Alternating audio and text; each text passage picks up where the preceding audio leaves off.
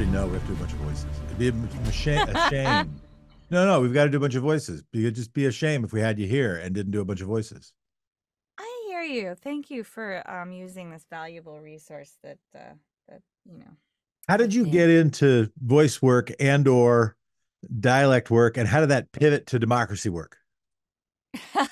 well, uh, that's part of what the story of my first podcast is going to be about. If I can get it finished in time to upload it for the January 6th launch date. If not, we're going to just do a live webcast of Freedom of Speech, the show that we're doing over here at the Abbey on on Saturday, as well as, you know, the the panel discussion which will be vital and relevant and all very exciting. But um the story goes I uh quit acting. I well, so I got into dialects um because my dad speaks in different dialects just as a form of expression you know? If he wants you to clean your room it's you know or if he wants you to get to the table it's get to the table you ugly anthropomorphic pigs you know? So we we had to uh, adapt and and i always sort of thought of it as just another form of emotional expression um and also i think because i'm a suzuki violinist so i had this ear training uh, method that I ended up using to teach other actors to do dialects and accents. Um, turned it into sort of a concise looping method that I use with a DAW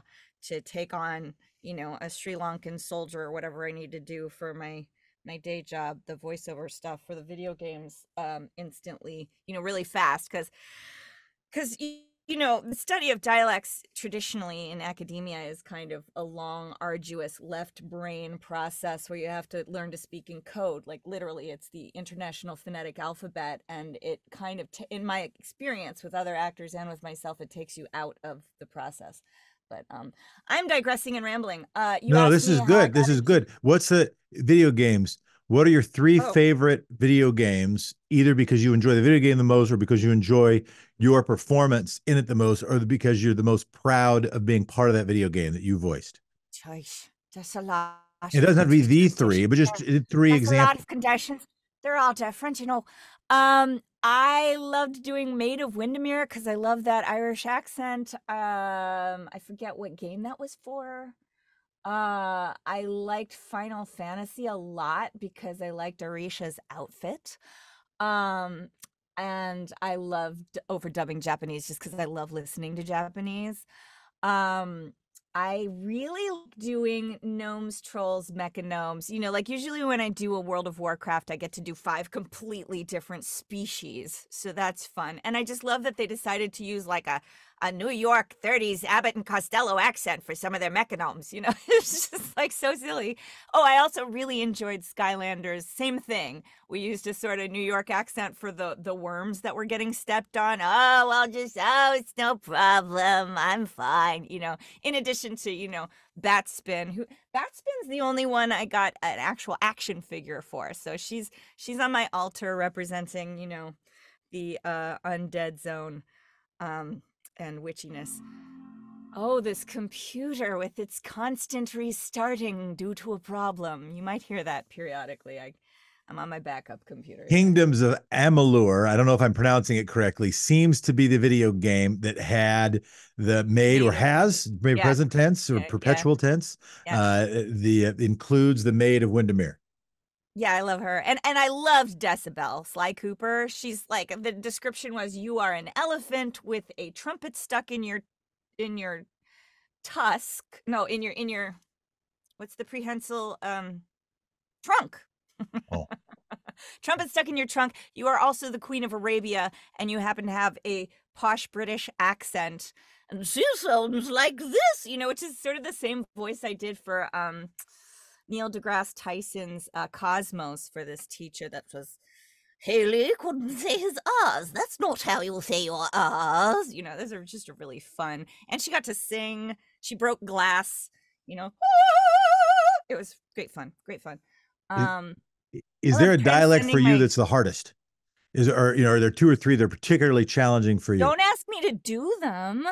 Well, you can do. I could. I'll ask you to do your favorites okay. instead of your hardest. But I am curious if there's a hardest. Welsh Welsh is difficult. Welsh Welsh is confounding and Vietnamese is like they just laugh at me when I try to speak Vietnamese, which is ironic cuz I actually have noticed this across the board with people I coach as well that if you um grew up around certain sounds, it's very diff- difficult for even a dialect coach like myself to distinguish the sounds I grew up around as distinctive and you know defining. So this is why when you ask an actor who whose mom is japanese to do a japanese accent they kind of do it but they're kind of in this limbo you know expats who've lived here for a while tend to be in this limbo oh they don't pass as a local back home anymore and they don't pass as a local here in North America. There's something, but they can't quite identify it.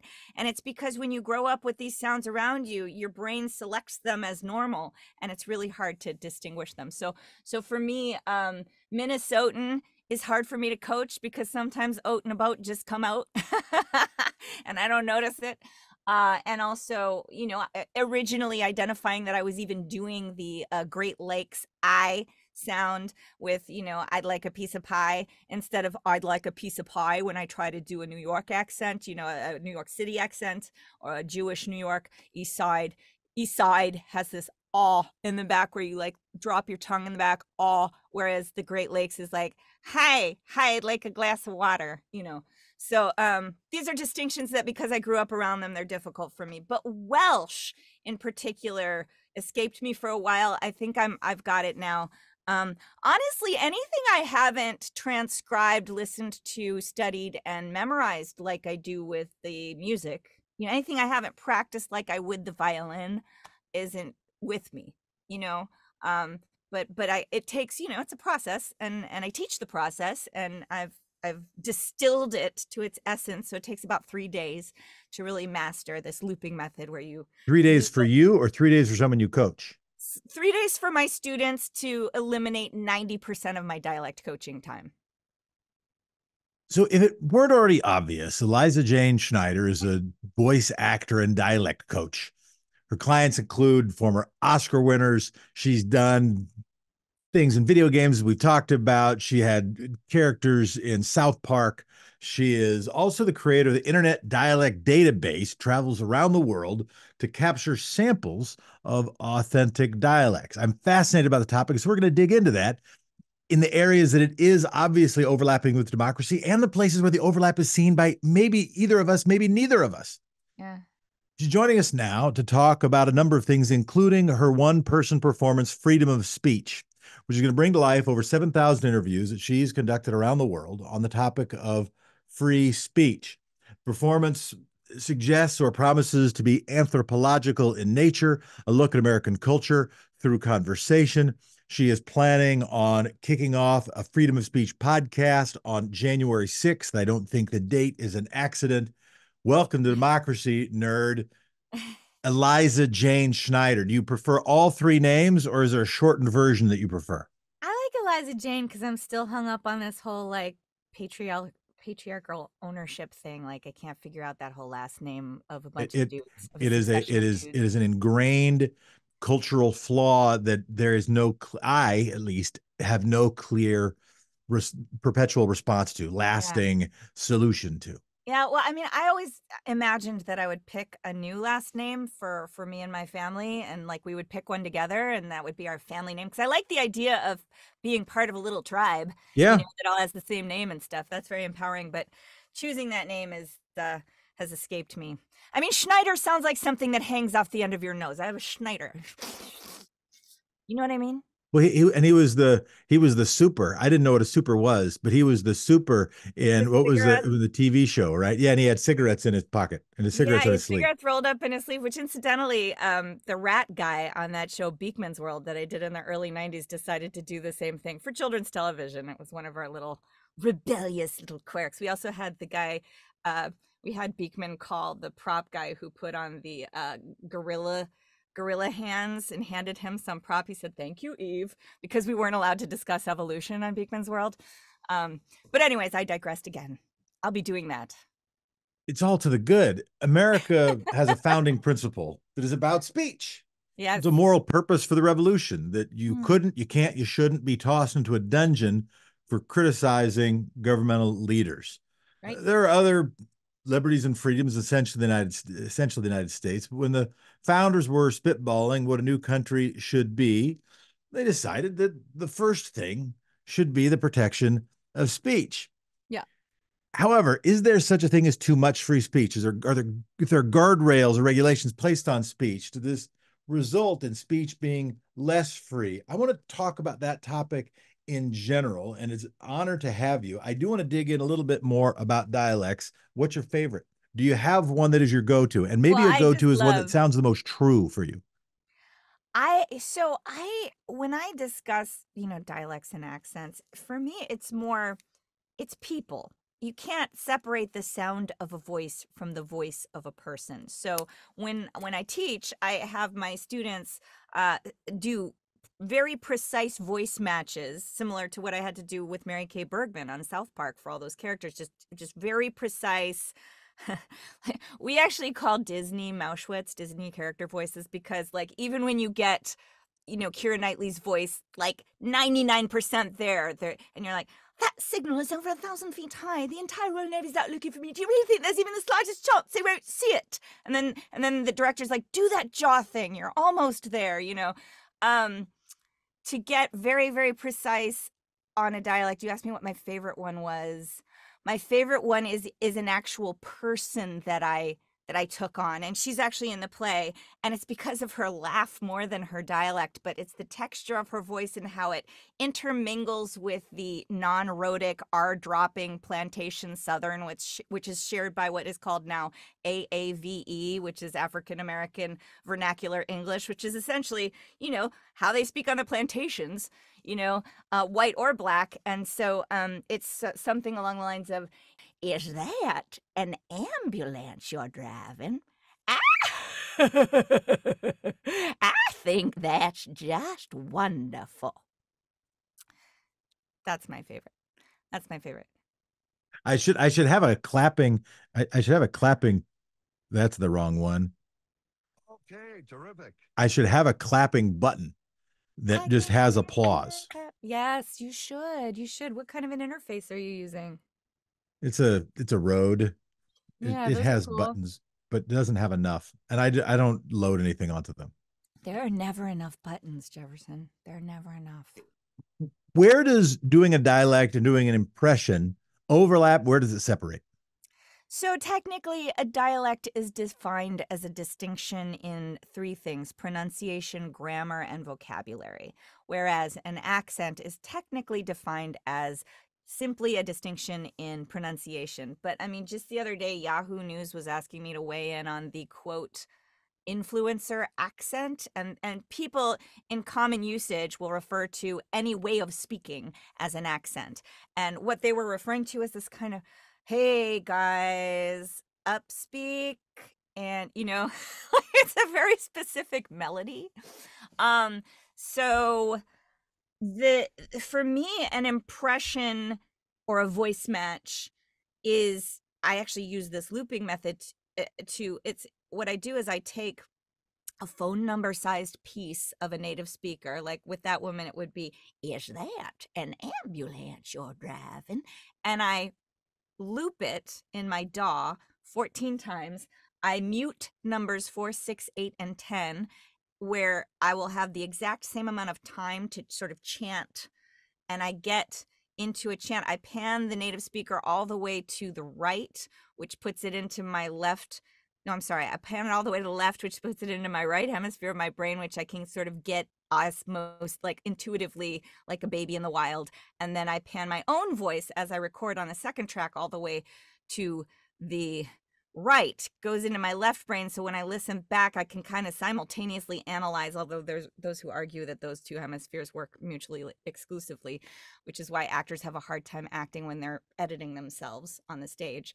Um, but anyways this the process works for me and some of the brain science applies and um, what you end up ha- having is like a little three minute kind of recording a practice recording that you can work with for three times for three days and then and then i just take on everything like the texture the timbre the lilt the the musicality and the elements of pronunciation you know the what they call sound substitutions where you know they'll say they'll say um I for my ah, where I'll say rash, she'll say Reich, you know, and that goes from an ah, which is like your widest front vowel, and is uh, the phonetic symbol is a typeset lowercase a, and it goes all the way up to one of the most narrow front vowels, which is a capital I. I, I is the name of that sound. So Reich for her is I, and Rash for me is spelled phonetically like a, a typeset lowercase a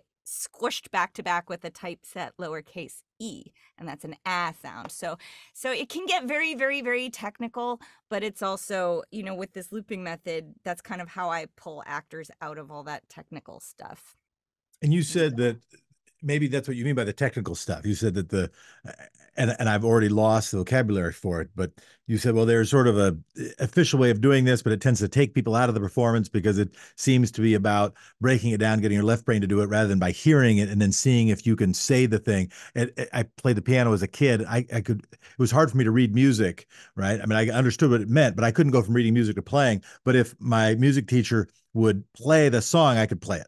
Yeah. And it yeah. and it's the so same. The like when I playing by ear, spitting it right back like a baby in the wild, exactly what you hear. And Yeah. and having so little time to do that that you can't think about it and analyze it first. And certainly taking it by ear as opposed to reading it. Like don't transcribe it first, just listen. And that's why it's a phone number sized piece so that you can grab it and repeat it, grab it and repeat it and just repeat it. And then your body and your mouth just your vocal posture forms to that of of whom you are imitating or doing an impression of and that that's why it helps me with the actors that i have to coach because they've already adjusted sort of subconsciously by this chant um, their vocal posture just by ear. So we go by ear first we do the auditory then the kinesthetic then if necessary there may be two or three things like for example that Rochesterian long I sound that I still was putting into my New York City accent. And I can write that down, give them that one phonetic symbol to memorize, and they can score their copy with it, and we're done.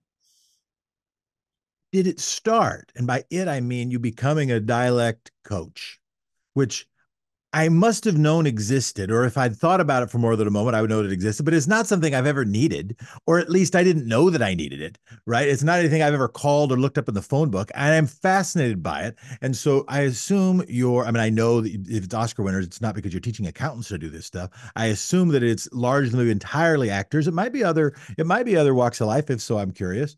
How did that did it start? Because as an actor yourself, you were good with voices, and people said, "How do you do those voices?" And you said, "Well, I could show you."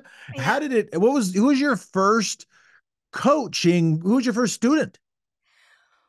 My first student. Well, I started just helping people in the waiting room at William Morris because William Morris was notorious for having us sit around and wait for like three hours for an audition because they just get such a a, a ton of auditions Big and you have response. to go in.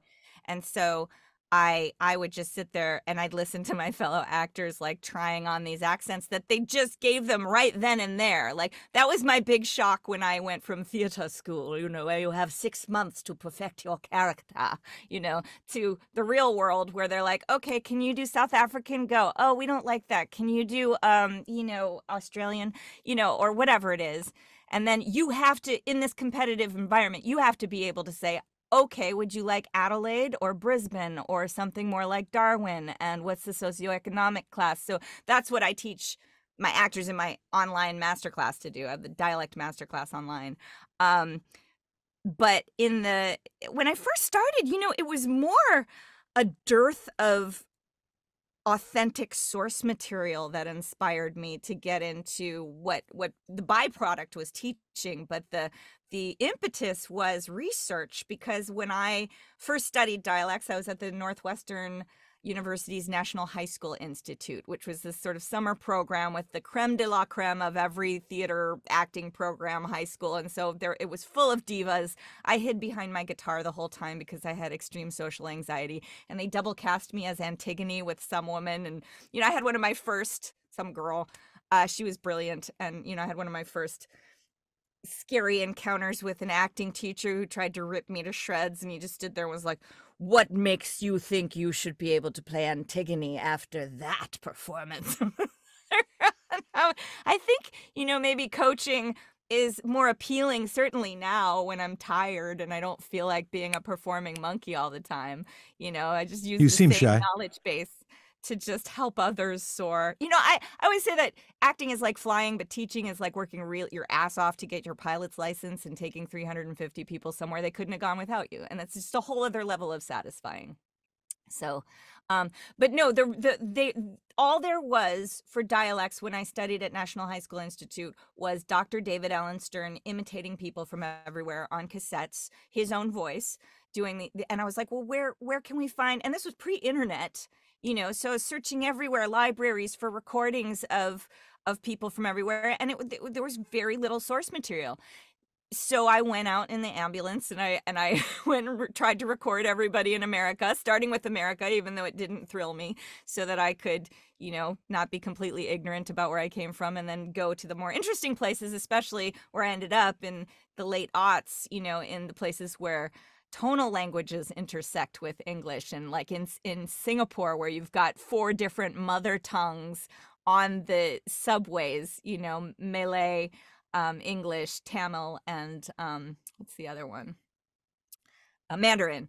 Uh, and then and then the Singlish, you know, these kids, these teenagers that sit in the the trains, they sort of it's akin to doing the dozens where they they try to catch each other with throwing in words from their own mother tongue, and it's all about economy of verbiage. It's like, um, hey, where do you guys want to go for lunch? Is what eat la you know so um so i just I, I just adore the intersection of music and language and and so studying the accents of spoken english the tonal ones like like vietnamese which will confound me forever but but it's exciting to uh to explore Have you ever counted?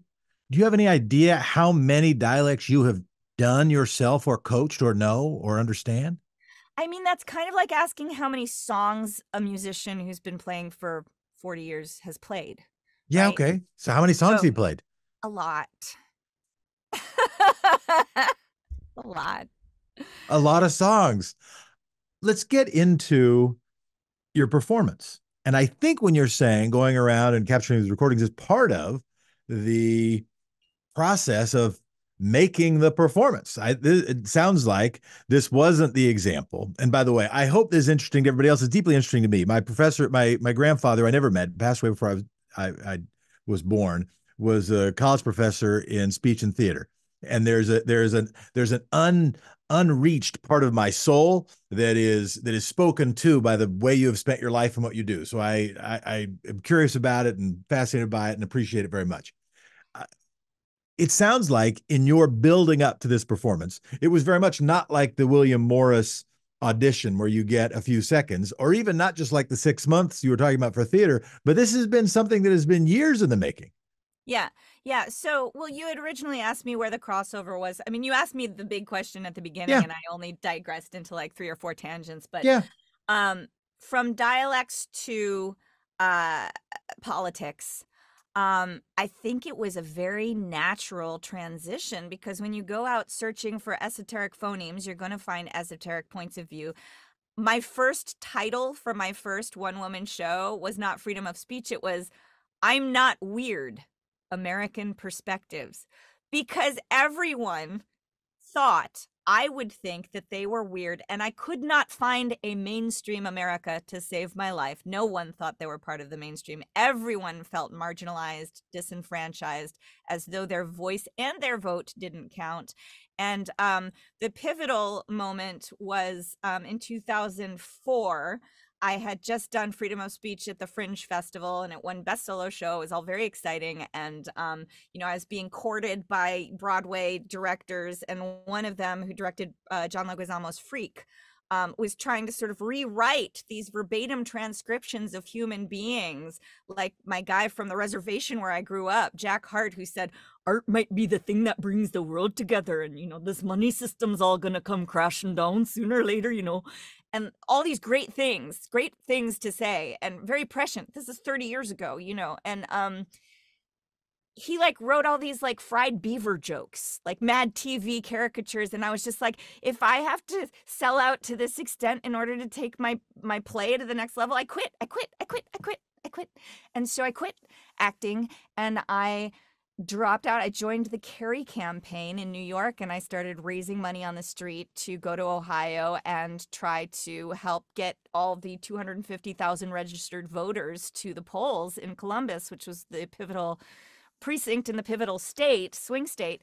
And um, I witnessed this systemic disenfranchisement of the African American community and all the the poor people in in Columbus and I stuck around afterwards when the mainstream media took off and Kerry conceded. And we all knew that there were 150,000 provisional ballots still uncounted and and we were around there and the, on the streets and I went to the the community public hearings which you know I just found my mini discs of um and recorded people and tried to get their voices heard so that the plays the one person shows have always been you know using this kind of dog and pony trick of you know doing my different voices you know doing things like that um, to get attention for un- unsung voices people who just are not currently part of the conversation and need to be and just to kind of J- January 6th was chosen to steer the public conversation away from this vocal minority of billionaire followers and toward the question what kind of a revolution do the American people really want and need?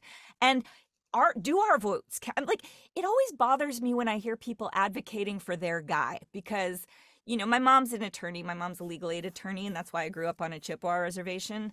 Uh, she was an what they called Indian law attorney at the time, and and an attorney is trained to be able to argue either side right? Like and and i feel like i should be able to argue either side. So when i hear somebody saying our guy won and th- th- this system is flawed i want to ask okay is the system flawed? Let's ask just that one question. It's not about our guy won or your guy won. It's about do we have open free fair elections does your vote count? And I think Oregon does it really well. But Jesse Jackson, back when I was interviewing him in 2004, was saying we have 50 separate unequal election systems you know 50 state separate unequal election systems and and you know he was like in florida you don't have to register and, and even in ohio in that one precinct one of their football strategies was to divert traffic by changing the laws up to within a week of voting where you were supposed to go, whether you were supposed to go where you were registered or where you live, which of course only affects people who move a lot or who are in apartments or who have been evicted or, you know, and so the one voter that I was trying to get to the polls, his vote ended up not being counted because he went to the wrong place because they changed the law four days earlier because Blackwell was the head of the Bush Cheney reelection campaign and the president of the Board of Elections. and you realized then that yeah. you didn't want to give up. I didn't want to give up. Well, I ended up writing that play, um, Sounds of Silence, a documentary puppet musical farce about the 2004 elections in Ohio, because sock puppets with the original recordings of the um, Democratic challengers and all the people, you know, these kind of Dadaist, absurdist characters who were rearranging the laws and moving things around to make it just nearly impossible to to actually vote that day. They needed sock puppets to get their point across, in my opinion. You're coming to Portland. How come Portland? I live here. You live here all the time. I live So here when you- now. Yeah, I'm hiding under a giant sequoia tree in my little recording. And how long have you been in Portland? Um, off and on since 2016. I Very love good. it here. I love the people. I love the music scene. Your life is based on speech. Freedom of speech is deeply important to you. How do you define it? I define freedom right now. I define freedom of speech as the opposite of cancel culture. Like period, because Yeah. I I feel like people are so quick and removed online to criticize and t- tear everyone down, you know, and nobody's actually listening. I think freedom of speech is best defined by Dr. Carl Faber in his quote on listening, which I don't have memorized, but you know, I think it's about the listening. Freedom you can't have freedom of speech if no one's listening. And I think that we're so predisposed to have our opinion and dig in our heels. And of course, we've got these little devices that are our pocket pals and best friends that are spitting back advertisements and feeds tailored by billionaire companies to to make sure that we are seeing and hearing our own opinions back at us and we think that that's public discourse now i mean we used to have like at least five news channels that that claimed to be somewhat you know, nonpartisan. And so we all kind of thought that that we knew what was going on in the world and it was the same thing other people thought was going on in the world. But now our listening is so myopic and and individualized that it's like we're all running around in these little bubbles of thought and we don't actually ever get to hear anyone else's point of view you know unless we try really hard. Is the faber quote you're looking for and and to be clear uh, credit the internet not me uh, there's a grace of kind listening as well as a grace of kind speaking. Is that the is that the quote yeah it for? starts with that. The part of it that i really like is uh, a few paragraphs in um but yes that's that's the one um trying to remember the exact part of it. I actually put it in my program. If you go to fosplay.com which will autocorrect to cosplay. So you might have to turn that Z for cat into an f for fantastic. Most people have never really been listened to. They live in a lonely silence no one knowing what they feel how they live or what they have done. They are prisoners of the eyes of others the stereotyped limited superficial and often distorted ways that others see them. This is lovely yeah. It's worth We'll, it. we'll put it. We'll put the link. We'll put the link in the show notes, as they say. Sweet. So you worked on South Park with Matt Stone and Trey Parker, whose careers have largely been established by their desire to push some limits of free speech in, in a reverent manner. What did you learn about, or what did you consider about free speech in that experience? I just feel very empowered by their irreverence. I mean, they eh, nothing, you know, and it's really hard to do that. I remember coming out of uh, the studio one day, and it was right around when I did Wendy's cuss song. And I am so proud of having gotten all of those expletives past the FCC. You know, um, I could sing a little bit of it for you now, but please, you in trouble. It's a I would welcome. Mrs. Lambert was a help nut. She cooked food in a walk. Mr. Harris was her boyfriend, and he had a great big cock a doodle doodle. The rooster just won't quit. I don't like my breakfast because it tastes like shih tzus make with house pets. They're cuddly and sweet. Monkeys aren't good to have because they like to beat their meeting in the office, a meeting in the hall. And this got on the radio. So I was very proud of that. I was very happy, and I came out of the studio and then sort of stumbled into my my ambulance or whichever van I had at the time. I've been through several. Um, and barefoot, you know, because I was always sort of coming. I was always coming into the studio at two o'clock in the morning the night before broadcast because that's how they rolled. I love them, but you have to kind of be in their group sure. in their entourage in order to be be okay over there. Yeah. But I came out and and Matt had just gotten off the phone with standards and practices with Columbia Pictures and they and Trey was disappointed because they put the kibosh on the context of one of the jokes in that song was like his favorite spot for fishing was in a lady's contaminated water can really make you sick and what what they were told they couldn't do was put it in the context of fishing. They couldn't say the c word in the context of fishing, but they and I was just sitting there wondering what was up with this woman at standards and practice, like what her actual issue was. But I mean, it can be that absurdist, right? Like it's all I don't know. I I think I I I don't want to completely discredit the idea of neurolinguistic programming and like, you know, words having power and being being thoughtful about what you say. Um, and not appropriating culturally appropriating other people's language and words and music and all the things. I, I totally understand that point of view. And one of the things about the Freedom of Speech podcast is it gives equal credence to everyone's voice. So you know, um, even cancel culture, you know, like you can have your opinion there, but I think, I think that it's it's really crippling when people are more concerned with what you're not supposed to say than they are with really trying to hear what somebody's trying to communicate behind the words. Yeah. The concern, you know, my concern is eh, and it's not mine alone but i think about the dynamic or maybe i'm trying to feed back what i heard from you is that it engenders fear and fear of saying the wrong thing doing the wrong thing stepping on the wrong thing a little bit of fear can be good. On the other hand fear is very often the limiter of creativity. It activates our amygdala it turns off our frontal lobes it, it makes it harder for us literally to get our brains to integrate and come up with new stuff if we're trying to figure out how do we not you know burn our hand we're not thinking about how we can invent Exactly. Yeah. And I was even on the phone with a voice expert this morning, one of my favorite coaches, Yvonne Morley Chisholm, and she was telling me, you know, because because I I eliminated the N word from one of the scenes in my play, and it was the only um, transcription that I edited, and I just say in the play, "Hey, that's not my word." Um, none of these are my words, and who am I to take words out of the mouths of other people? Um, you know, but at the same time, that's one that I'm I'm that's not my word. So I took it out, and and then I, as an actress, because I've been just replicating exactly the verbatim um, what these people have been saying this whole time.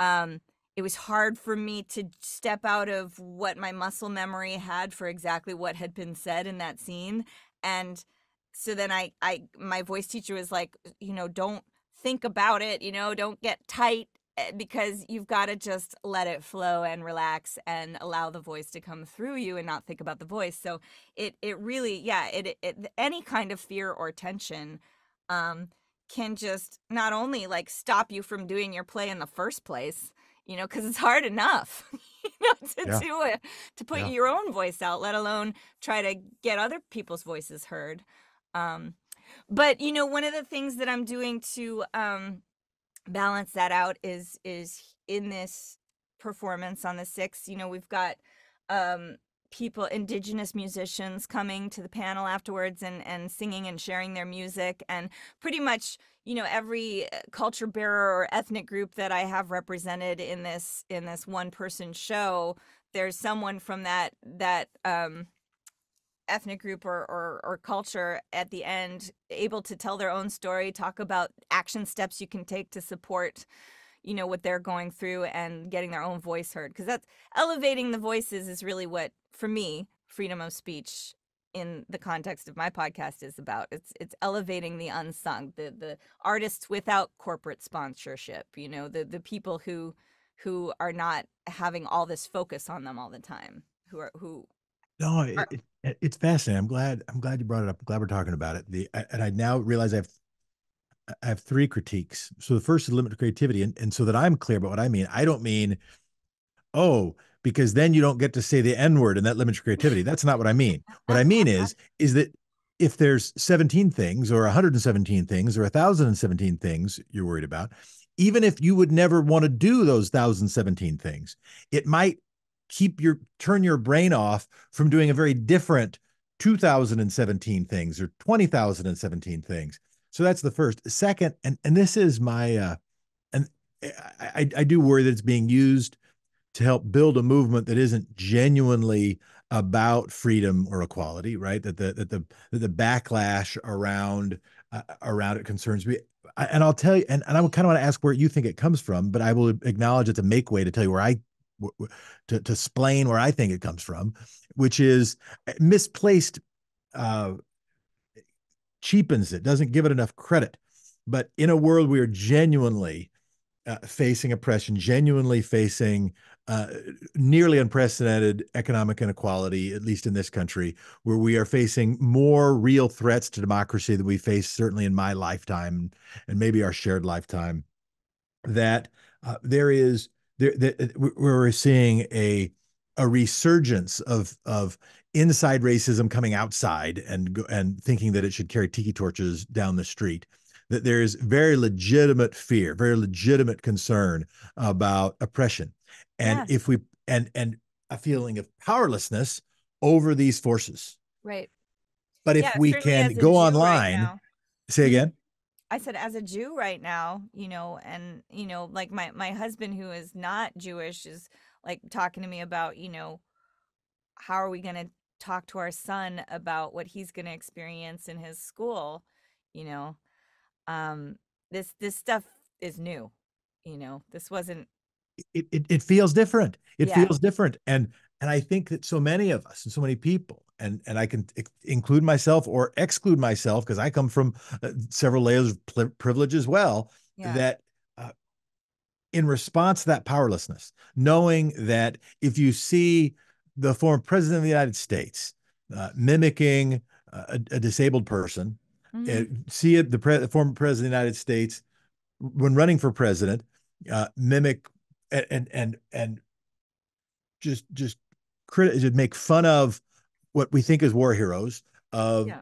of having of having his own family with a racist history and knowing that oh as a as a socially progressive activist nobody cares in that movement what you think like nobody, you have absolutely no impact to, in fact, you have reverse power to impact the Republican primary. If you say, oh, Donald Trump is bad, the people who think that you're, you know, a, a pointy headed liberal will like him better. And that, in fact, has been the dynamic. And mm-hmm. so, where, what do you do? You go after targets of opportunity because maybe J.K. Rowling would listen, or maybe the fans of J.K. Rowling would listen, or maybe Dave Chappelle would listen, or maybe the fans of, J- of, of Dave Chappelle would listen, or maybe the, the president of a university would listen, or maybe the board of directors of the president of a university would listen. And so, you go after targets of opportunity, which tend not to be, I fear, often the targets of real desire, of real high priority. And so that's part of my concern. And, and I say that even not merely as a critique i say that with empathy. And i think that some of what we're seeing is just is just a is a barbaric yelp as a scream against genuine oppression. What i care about is being as intentional with that as we can. Yeah i i i, I hear everything you're saying and and i agree. I think um god there was so much that i was thinking as you were speaking and went forgive me i spoke i said several things. No no it's it's all right. Um the otherism is really, I think, the issue, the us versus them. The thing where you're saying, you know, that because you're a pointy headed liberal, people are going to not hear what you're saying, not listen to you. And then you've got to like get creative about who might listen to you because of the label that you wear you know and and it's interesting because a, a, man experiencing houselessness in san san francisco was the one who coined this term for me i'm sure other people have said it but he said it best and he was like people play these otherism games you know and and otherism is not prejudice you know and I just loved that term because it's so pervasive. It's it's always this us versus them and you know anybody in in the kind of, you know, spiritual world will tell you we are all one. You know, we hear this kind of adage, but you know, the the idea that that we're so separate and that you know you can say oh well you're a liberal so i'm not going to listen to anything you have to say that that eclipses that that shuts that that shuts off freedom of speech entirely there is no freedom of speech in that the minute you start wearing labels and and stop listening to people just because of who you think they are. Or listen to them for purposes of disagreeing, attacking, or deciding you must think the opposite. Exactly. Exactly. Yeah. It's it's just a whole other kind of listening. It's, it's not listening. How do you get people to listen to others and to make that listening experience feel not just like listening to others, but listening to a broader definition of us? Okay, so here's what I do. So so in the play, um, I take on uh, a character and you don't know that this guy is speaks in tongues or is a polygamist. You just get to know a police chief and fireman who loves his family and has a hypnotic, virile David Koresh esque delivery, and you get sucked into the beauty of the utopian, you know. This is one of the places in America where you still don't lock your doors at night. You can leave your keys in your car, not even worry about it. No one locks up and uh, you know start thinking communally about marrying your best girl, girlfriend into your family and then you then you find out you know that he's a polygamist. Um so for me the way i do it is i i have been as of yet unsuccessful in getting red state blue state conversations where people are talking directly to each other but i can listen um with a, a shockingly open mind and and a, a level of trust that my mom is still concerned and perplexed by. Um, you know, like kissing a white supremacist just to watch his reaction when he found out I was a Jew. Incidentally, he did a flip and then he ate the chocolate chip cookies I made in my ambulance and we kept talking. So, um, this idea that we are all one what what I do I just like use my physical body and and my my work as an actor my my art to take on completely opposing perspectives, juxtapose them on stage, and ha- have this dialectic where they're not directly talking to each other, but they're talking through me to the audience. And so you get both sides of a perspective, and the audience is able to see it in a completely different way because the same person literally is giving them two completely opposing perspectives. So that at least opens up the listening a bit you know and and i like to start with humor pathos dreams hopes fears all those things that unify us and make people endearing you know um and you know inconsistencies and fallibility and all this stuff and then then move into you know what their political view might be you know and usually that's the punchline. What i find interesting with the dialect work is just the, the nature of the dialect gives an instant cue of other but then by doing lots of them it broadens our understanding of kind of is that really other is it kind of we're all a little bit weirdos or none of us right are weirdos Right. Yeah. Yeah. And and you know, I I just adore you know the inconsistencies. You know, like like the same guy who is like, this money system's all gonna come crashing down is gonna then say, this these dolls went for eleven thousand dollars in Boston. They're good investment potential. You know, and that's the beauty. That's what makes you fall in love with a character. You know, because we all have that. An ambulance. Maybe it's obvious, but why an ambulance? And how did you get the ambulance? And was it the one that used in they used in Ghostbusters? Maybe that was a Hearst. No, that was a hearse. Oh, it was Cannonball Run. They used a they used an ambulance in Cannonball Run. I I say she found me. I was looking for a a vehicle that had a separate cab so I could lock up my recording gear and um had AC outlets so I could plug it in and uh, I looked opened the LA Times and right there under cargo vans was an affordable Chevy 85 ambulance. And, you know, ultimately it became a metaphor for the kind of self rescuing act of leaving Hollywood and going out to like seek a truth I could not define.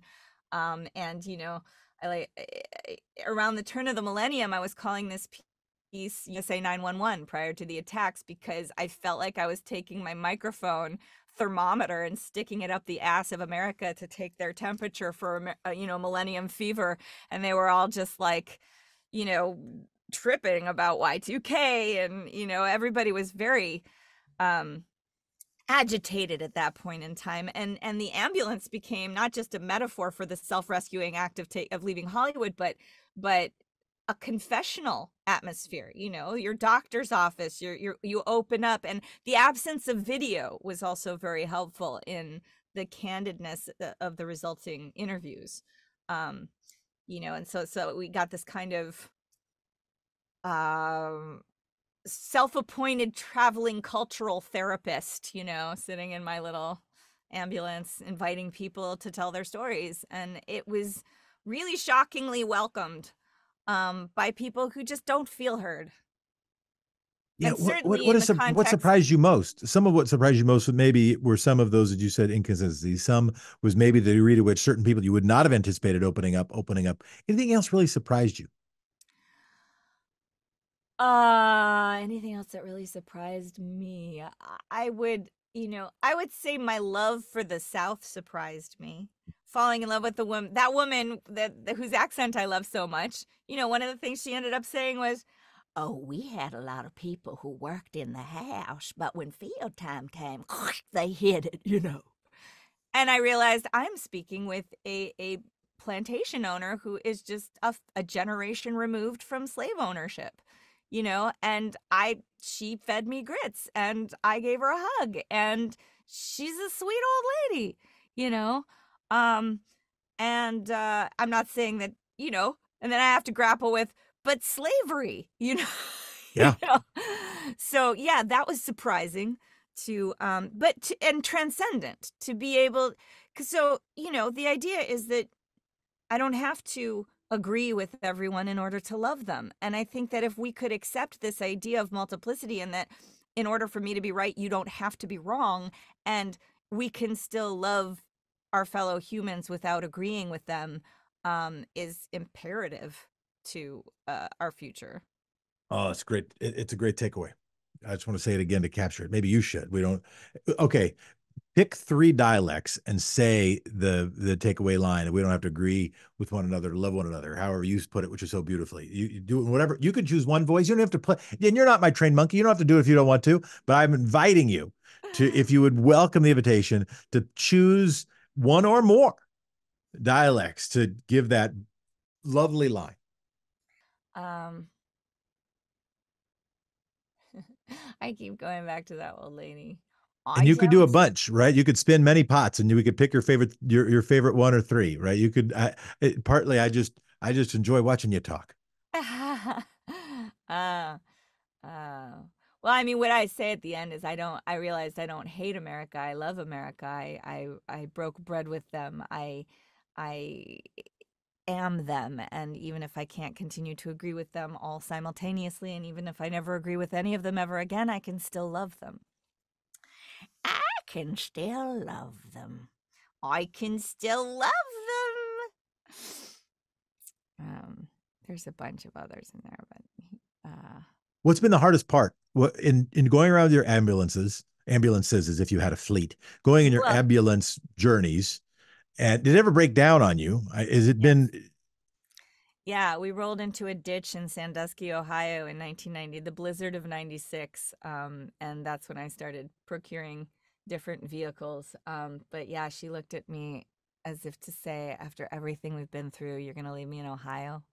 Um, yeah, she's very dirty. The other ambulance came and it was like two girls wearing the same dress to the prom, only mine was dirtier. It was just she yeah, so so then I had to do a full R&R and like I pull out the engine um uh and put it into like a, a Ryder moving van and my experience going the rest of the way from Ohio to California in in a yellow Ryder moving van and you know staying at motel sixes with the same interior decor and the same things on the menu at all the chain restaurants as opposed to traveling in an ambulance where people would invite me in to sleep and for dinner and and you know being in the kitchens and the hearts of, of people's uh, you know people's backyards it, it, was just such a completely different way to travel.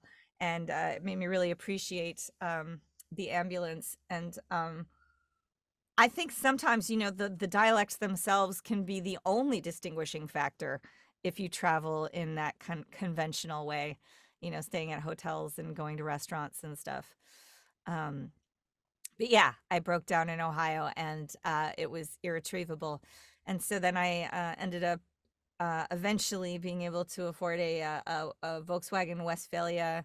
At one point in time, I had a Eurovan and a Westfalia, so I could have a, a four burner stove total um, and lived in the two of them. And then uh, I traveled in a, a, sailboat in the Caribbean for a while. Um, and uh, yeah, there were quite a few vehicles. A sailboat. You'd go and yeah. so you'd go island to island. You'd go fishing yeah, boat well, to fishing boat. What I would do is I would book a tour for my um my band at the time was called Eliza Jane and the Barnyard Gypsies. It's this weird kind of like gypsy bluegrass that I play. Um, and uh, I would book a tour in the places where I wanted to record the dialects. So, um, and my guitarist at the time had built a 56 foot trimaran um, that was all pumps, like no no electronics or anything. It was really really beautiful. It's called the Virgin Fire. It was the fastest trimaran in the in the in the Caribbean at the time. Um, it's like 2006 through 2009.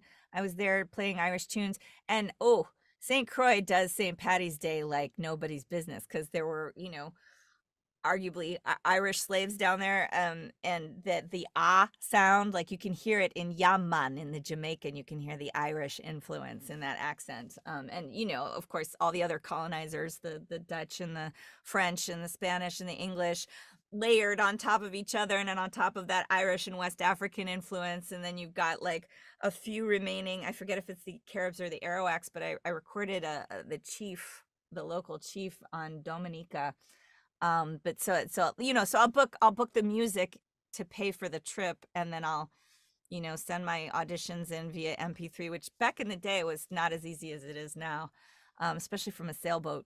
But um yeah trying to use sort of that tv work and the voiceover work and the and the booking a tour as a musician to fund my dialect habit. What did you learn in all of this? And uh, maybe too broad a question to be useful but what's the takeaway what's something that you didn't just go into this and confirm a prior but in fact developed your thinking in a way that is worth sharing. And of course, that's what some of the performance is about. But what what's a takeaway that you learned, you drew from the experience? I mean, um, well, like I said, like like I was raised to sort of fear and loathe the uh the South.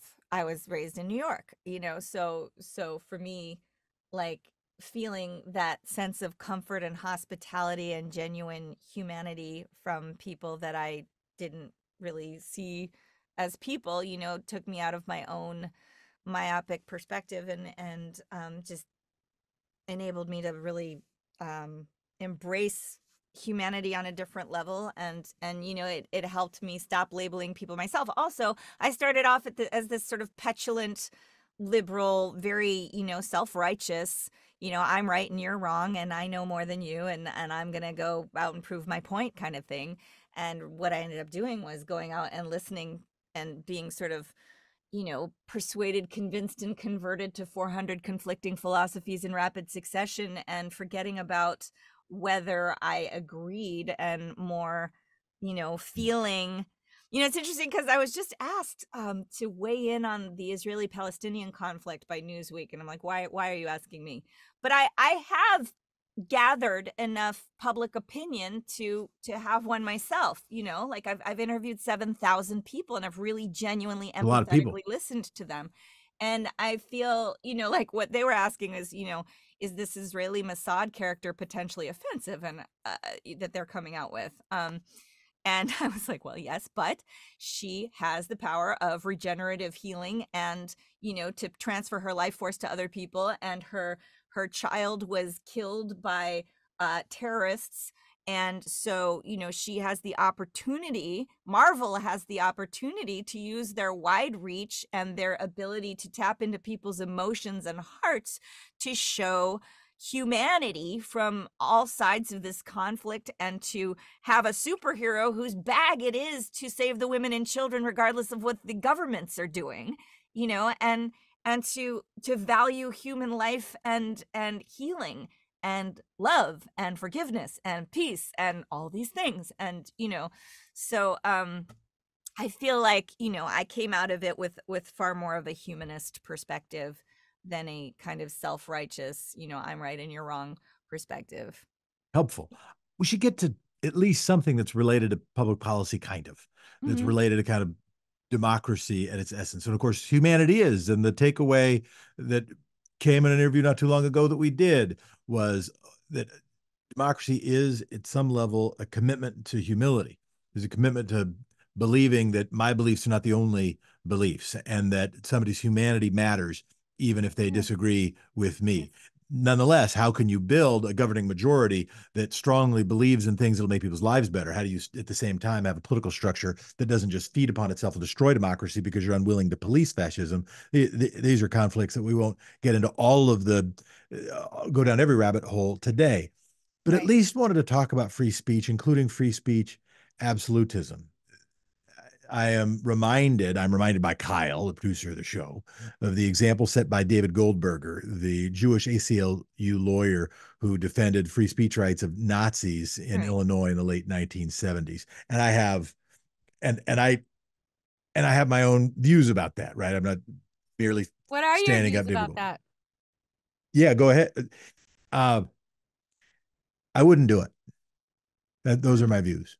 I wouldn't make a law that somebody else couldn't but the old line that I am now stealing, right, as somebody who you know is mostly a recovered lawyer, yeah, everybody's got a right re- representation, but they don't got a right to my representation. Exactly. And yeah. and so that's you know that's where that's where you know I I wouldn't do it. Well, and, valid point because you know you only have so much energy, and you know I I question my participation in in you know video game franchises that are you know training kids to be desensitized to gun violence. Yeah, you know, but then I sort of do this. I I make up for it by doing a kind of Robin Hood thing where I take the money from that to support the political and, and, and you know activists um, art that I put out into the world and to try to get more voices heard. So, um, uh, so and we and we each have to we have to each have to make trade offs, right? Like I right. I think climate change is real, and I drive a Ford F one fifty, right? My my hypocrisy is every day, and at the same time, that doesn't remove, I think, my responsibility or even my uh, my my tiny incy beansy wit uh, uh, bit rather of moral authority to say, well, we can make the world a little bit better, right? We can make the world. Right. I, I, I'm, I, I am not perfect, but that doesn't mean we can. I, I, I play video games that shoot guns. That doesn't mean I think real people should shoot guns. Uh, I Right, I of course I have shot a gun, but I don't think we should have everybody own lots of uh, uh, totally unfettered, unlicensed ways to kill other people. Uh, You can make Yeah. dividing lines on these things. So everybody's been saying uh, one of the, the most most consistent refrains when I suggest positive change and big changes, you know, especially at the beginning of this pandemic of like, okay, now it's finally time. In a in a very, you know, Greta way, you know, let's stop and and that's that's one of the perspectives that I bookend my freedom of speech show with is is a, a Navajo elder who says, "Hey, I want everybody to stop and look at what they're doing and and respect Mother Earth. If we do this, we will survive." And she said this 30 years ago. You know, and I've been saying repeating this for 30 years. And um people always say, "Oh, well, you know, that's unrealistic. Nobody's, you know, eh, we maybe we can have change over the course of several decades. Slowly we can weed out cars, but people aren't going to do that and that's just unrealistic, you know. And then the pandemic hit and they stopped driving their fucking cars. You know, everybody stopped. The planes stopped, the cars stopped, people stopped going to work because they were afraid for their lives. People do and people can make significant instant changes when it's based on it seems to me fear.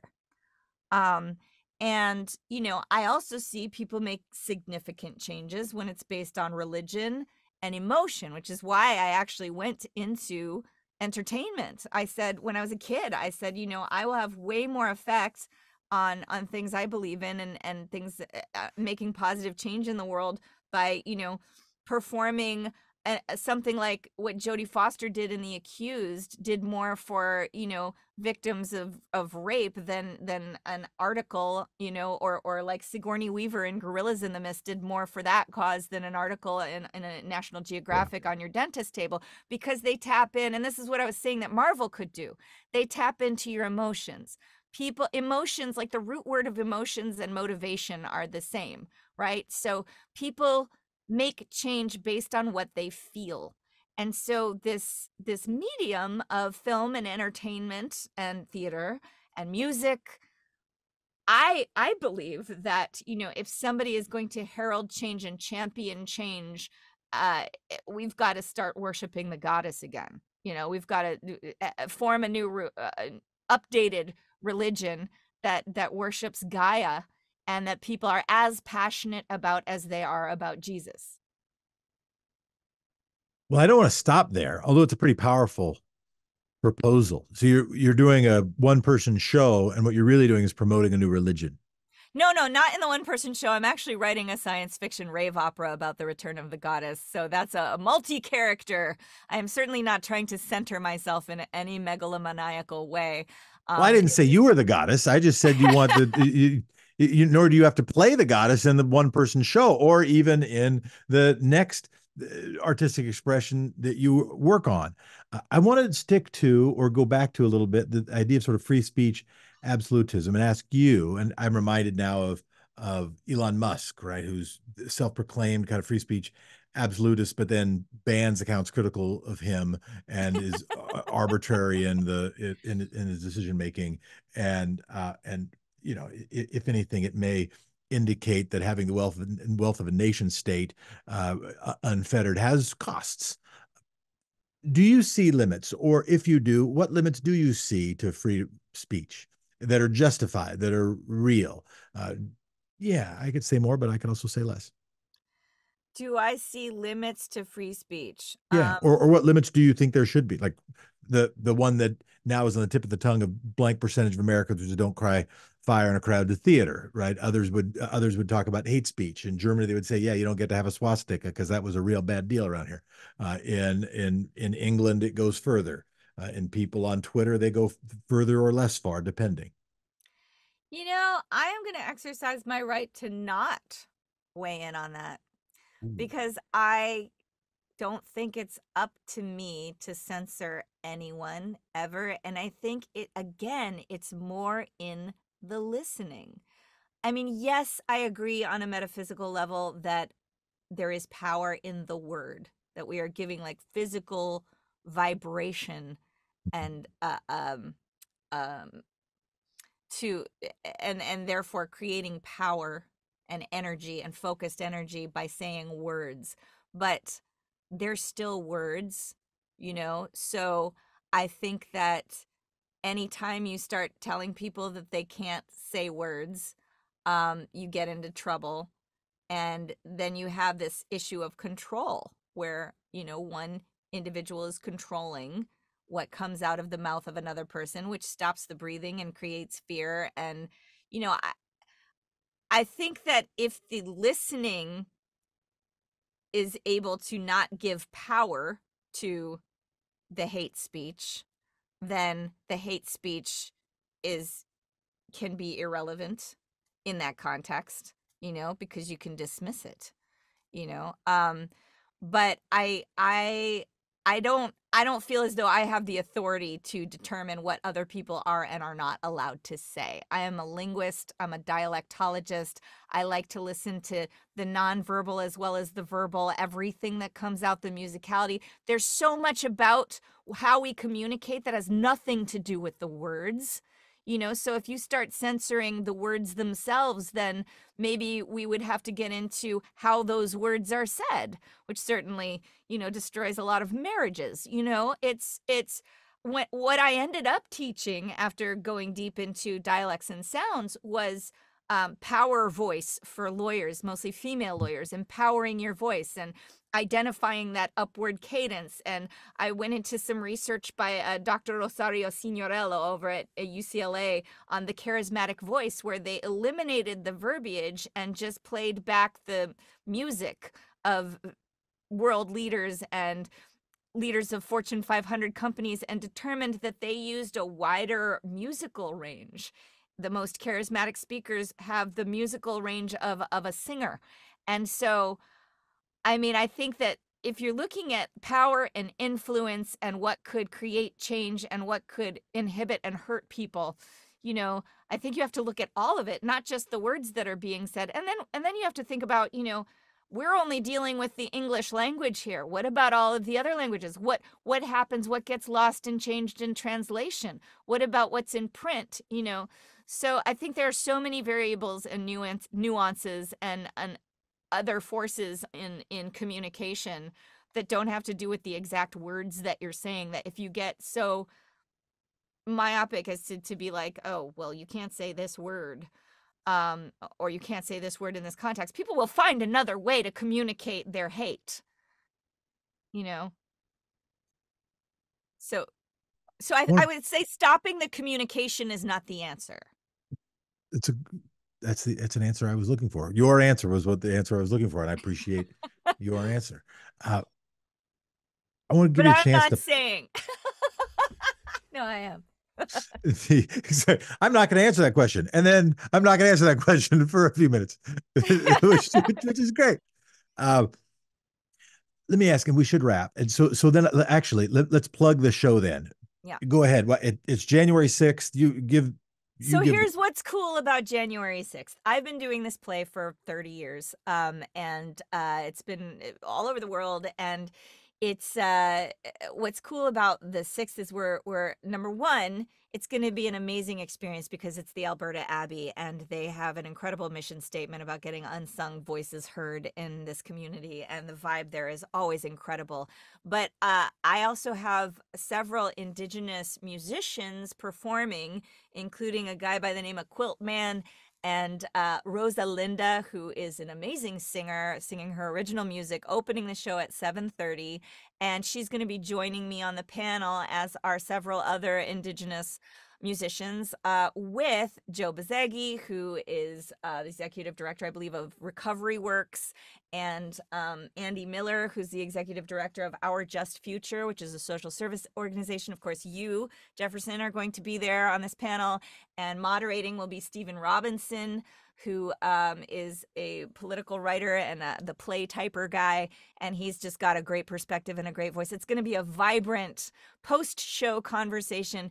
And the show itself, um, we used to call it evolving portraits of a re- revolving portraits of an evolving nation because essentially what's happened it's kind of a weird medium it's documentary theater but because i memorized all of the interviews i did ad nauseum. Like each of the interviews in this 90 minute show were originally up to an hour each. So I have like 32 hours of stuff in my head of, of the, the words of other people. So their their stories change like a teacher would change slightly how they tell their story to different classes of people um classrooms full of people um so so i don't know if i'm the best person to describe this because i'm so like in it but um yeah i'll do a bunch of tricks i do 34 voices it's fun and it's a live webcast it's going to be recorded you will be that live studio audience and i would just love to see you there and meet you and um, join the party afterwards.